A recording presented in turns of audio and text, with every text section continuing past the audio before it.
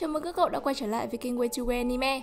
Card Koto Sakura, tên tiếng Việt là Thủ lĩnh thẻ bài, là một series shoujo manga được sáng tạo bởi nhóm nghệ sĩ nổi tiếng Clamp, sau đó được chuyển thể thành anime vào năm 1998. Câu chuyện xoay quanh Kinomoto Sakura, một cô bé học sinh tiểu học tình cờ phát hiện ra mình đang nắm giữ một sức mạnh kỳ diệu sau khi vô tình giải phóng một bộ thẻ bài Clow đã được niêm phong nhiều năm trong một quyển sách nằm trong tầng hầm. Sau đó, cô được ra nhiệm vụ phải thu phục lại tất cả các thẻ bài đã chạy thoát ra nhằm ngăn chặn chúng phá hủy thế giới. Khi series manga ấy được chuyển thể thành anime vào năm 1998, thế giới nhanh chóng phải lòng các nhân vật đáng yêu, hài hước. Đến năm 2016, Clamp đã cho ra mắt phần tiếp theo của series với tên gọi Card Capital Sakura Clear Card, tên tiếng Việt là Thủ lĩnh thẻ bài Sakura, thẻ bài pha lê, nhân sự kiện kỷ niệm 20 năm ra mắt bộ truyện và sau đó 2 năm, phần phim anime gồm 22 tập cũng đã được ra mắt. Hiện tại, phần manga vẫn đang được tiếp tục. Thật sự mà nói, có rất nhiều câu nói đáng nhớ từ series này, từ tầm quan trọng của gia đình và tình bạn cho đến tình yêu và sự mất mát. Chẳng hạn như câu thần chú nổi tiếng của Sakura, mọi chuyện sẽ ổn thôi. Để tôn vinh bộ manga và anime đáng yêu đã gắn liền với tuổi thơ của chúng ta, hãy cùng Way to Wear điểm lại 10 trong số những câu nói hay nhất từ Card Captor Sakura nhé. Let's go! Câu nói đầu tiên, nếu thằng nhóc đấy mà thành chủ nhân, tớ sẽ mất lòng tin vào cuộc sống mất. Kero, tập 47 Nếu là fan của series này, chắc hẳn các cậu sẽ biết rằng Kero và Shaoran không hề thích nhau và mỗi lần gặp mặt, y như rằng hai người sẽ lại gây gổ, châm chọc lẫn nhau. Với Kero, cậu tin chắc rằng Sakura sẽ trở thành chủ nhân mới và thực sự khó chịu bởi sự tự tin thái quá của Shaoran. Kero nhanh chóng bắt đầu gọi Lee Shaoran là nhóc con. Tuy nhiên, Kero cũng dần chấp nhận Shaoran khi Sakura trở thành bạn và bắt đầu nảy sinh tình cảm với cậu. Dù sao, nhiệm vụ chính của Kero là ở bên cạnh Sakura hướng dẫn, hỗ trợ và động viên cô ấy.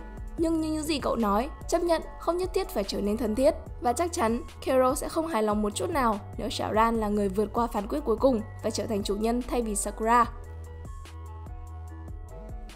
Câu nói thứ hai, có những cảm xúc tốt nhất nên giấu trong lòng. Nhưng như vậy có ổn không? Cảm xúc không thể chuyển qua người kia nếu cậu không trực tiếp thổ lộ. Tomoyo, tập 59 là người bạn đồng hành, thiết kế trang phục và ghi hình lại tất cả những cuộc phiêu lưu của Sakura. Tomoyo là một trong những người rất tinh tế, vì vậy không có gì đáng ngạc nhiên khi cô nhanh chóng nhận ra tình cảm của Sharan dành cho Sakura. Mặc dù cô thích trêu chọc làm cậu đỏ mặt, Tomoyo vẫn khuyến khích cậu nên mở lòng với Sakura.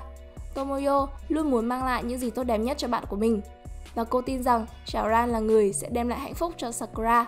Đó cũng là điều sẽ làm chính bản thân cô cảm thấy hạnh phúc. Nhưng vì quá ngại ngùng và nhiều lần không nói được, Chào Ran gần như đã từng muốn từ bỏ việc bày tỏ tình cảm của mình. Lúc đó, Tomoyo đã khuyên cậu rằng bạn sẽ không bao giờ có thể hiểu hết cảm xúc của mình nếu bạn cứ kìm nén chúng trong lòng. Dù chỉ mới 11 tuổi, nhưng Tomoyo thật sự là một cô bé rất nội tâm và có suy nghĩ vô cùng sâu sắc. Câu nói thứ ba, dù phải mất đi cảm xúc này, tớ vẫn sẽ thích cậu một lần nữa. Shaoran, Movie 2 Bắt đầu là đối thủ của nhau, mối quan hệ giữa Shaoran và Sakura dường như rất khó xảy ra, nhưng trái tim ấm áp của Sakura có thể làm dịu đi cả những thứ cứng rắn nhất. Những nỗ lực bền bỉ của cô để trở thành bạn của Shaoran đã được đền đáp, và khi mối quan hệ của họ dần phát triển, Shaoran nhận ra rằng cậu đã thích cô. Đến tập 69, Shaoran đã bày tỏ tình cảm của mình với Sakura, nhưng Sakura vẫn chưa kịp hồi đáp thì Shaoran phải quay trở về Hồng Kông. Mãi cho đến tập phim điện ảnh Card Captor Sakura The Movie 2 The Shield's Card, tên tiếng Việt là thẻ bài bị niêm phong. Khi Shaoran và Mei Ling trở lại Nhật Bản thăm mọi người, Sakura cuối cùng cũng tuyên bố tình cảm của mình dành cho Shaoran. Câu nói thứ tư, chỉ có một người được trêu Sakura, đó chính là tớ. Toya, tập 6. Tin rằng mình là người duy nhất có quyền trêu chọc Sakura, anh trai Toya thực sự rất thích trêu em gái của mình và đặt cho cô biệt danh là quái vật. Nhưng anh không hề có bất kỳ ác ý nào. Và câu nói này cho thấy tình cảm sâu sắc của Toya dành cho cô em gái, có phần hơi ngang bướng của mình. Bằng sự quan tâm của một người anh trai, Toya nhanh chóng phát hiện ra bí mật của cô khi trở thành một thủ lĩnh thẻ bài và luôn là người đầu tiên đứng lên bảo vệ hoặc giúp đỡ cô khi gặp rắc rối. Đôi khi, Sakura có thể là một con quái vật nhỏ, điều mà Toya cảm thấy rất vui khi gọi cô, nhưng anh ấy sẽ không thay đổi em gái mình vì bất cứ điều gì.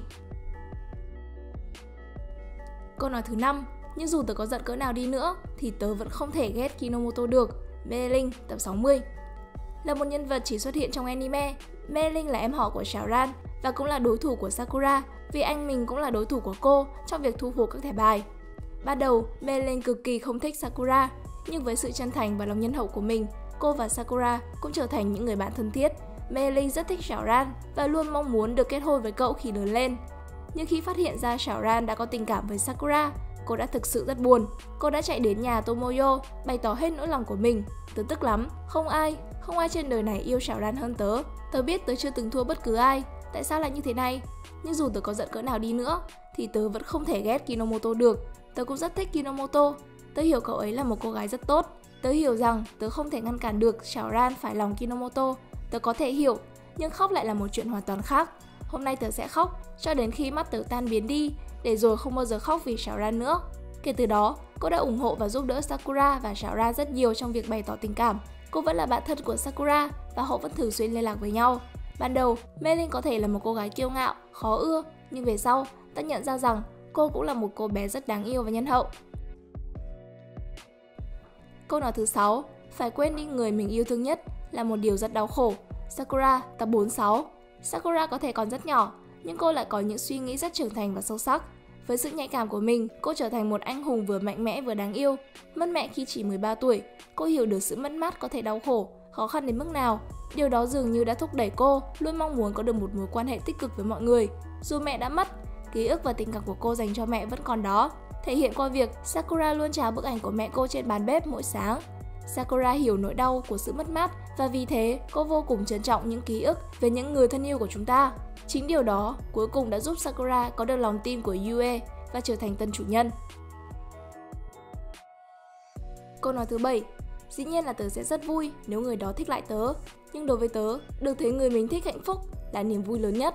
Tomoyo, tập 50 Tình bạn của Sakura và Tomoyo là một trong những mối quan hệ đáng ngưỡng mộ và quan trọng nhất trong bộ truyện. Họ luôn giúp đỡ, quan tâm lẫn nhau và đảm bảo đối phương được chăm sóc tốt. Với Tomoyo là thiết kế những trang phục dễ thương cho Sakura, còn Sakura thì luôn đảm bảo sự an toàn của Tomoyo trong các trận chiến của cô. Dù cho mối quan hệ của họ có hơi phức tạp bởi Tomoyo bị thu hút một cách lãng mạn với Sakura, trong khi Sakura lại hoàn toàn không biết gì về cảm xúc thật của Tomoyo. Nhưng tình bạn của họ vẫn bền chặt vì mục đích của Tomoyo là giúp Sakura theo đuổi hạnh phúc của chính mình, điều mà cô tin rằng sẽ làm bản thân cô hạnh phúc. Câu nói thứ 8, ta là ta, còn cháu là cháu, Sakura. Với cháu, đó là tương lai. Chỉ có cháu mới tự tìm ra thôi. Chloe tập 68. Chloe là người đã tạo ra bộ bài Chloe và là cựu chủ nhân của Cerberus và Yue. Ông là một pháp sư vĩ đại và cũng là một nhân vật vô cùng bí ẩn khi có rất ít thông tin về quá khứ của ông. Trong tập 68, khi Sakura sử dụng thẻ bài Chloe để quay ngược thời gian để tìm gặp và nói chuyện với ông về những chuyện kỳ lạ đã xảy ra, Chloe đã đưa ra những câu trả lời khó hiểu nhưng ông khẳng định mình là bạn, là đồng minh của cô. Phép thuật của ông cho phép ông nhìn thấy tương lai đủ xa để đảm bảo Sakura sẽ trở thành người kế vị. Nhưng ông cẩn thận không can thiệp quá nhiều để số phận của Sakura sẽ hoàn toàn thuộc về cô. Khi thẻ bài Chloe bắt đầu biến thành thẻ bài Sakura, Chloe Reed thừa nhận rằng ông rất vui vì những sáng tạo của mình đã tìm thấy một chủ nhân mà họ có thể sống hạnh phúc. Ông cũng đã khuyến khích Sakura hãy tự tạo nên con đường của chính mình thay vì so sánh bản thân mình với ông. Chloe Reed tin rằng nếu là Sakura thì mọi chuyện sẽ ổn thôi. Câu nói thứ 9 Em muốn anh trở thành bạn em, chứ không phải như chủ tớ. Sakura, tập 46 Trong series này, ta sẽ thấy Yue là một nhân vật lạnh lùng với mối liên hệ sâu sắc với Clorid và có sự phản kháng quyết liệt với ý tưởng phục vụ dưới quyền một chủ nhân mới.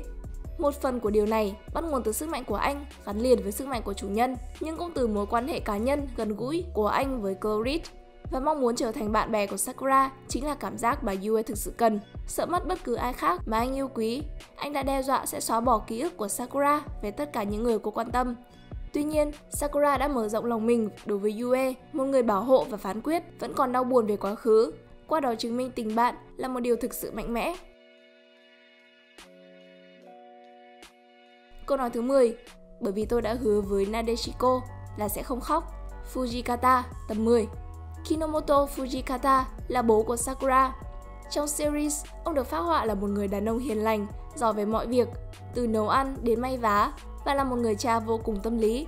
Điều đặc biệt, trong suốt series, chúng ta luôn nhìn thấy hình ảnh bố của Sakura mỉm cười dù hoàn cảnh có khó khăn như thế nào. Ông rất yêu vợ của mình là Nadeshiko và ông đã thực sự làm cô cảm thấy hạnh phúc khi hai người ở bên nhau. Cha của Sakura có thể là một giáo sư khảo cổ học bận rộn, nhưng ông luôn đặt gia đình của mình lên hàng đầu và luôn động viên, tin tưởng hai đứa con của mình. Hầu hết các cuộc phiêu lưu của Sakura chỉ giới hạn ở trường tiểu học và thị trấn Tomoeda nhỏ của cô. Cũng có nghĩa là nữ anh hùng của chúng ta vẫn còn nhiều điều để tìm hiểu về thế giới rộng lớn hơn và gia đình sẽ là chỗ dựa vững chắc để cô tiếp tục khám phá nó. Và đó là 10 câu nói đáng nhớ trong series Cut Capto Sakura. Nếu các cậu biết thêm bất kỳ câu nói nào trong series này mà các cậu tâm đắc, hãy giúp chúng tớ bổ sung thêm vào danh sách bằng cách comment ở phần bình luận bên dưới nhé. Cảm ơn các cậu đã theo dõi hết video này. Hẹn gặp lại ở những video tiếp theo. Way to Weird out!